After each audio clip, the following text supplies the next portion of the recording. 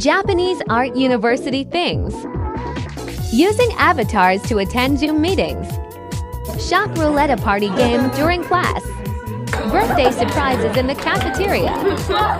LE SSERAFIM's Sakura poster in the middle of the cafeteria. Pretty artworks everywhere.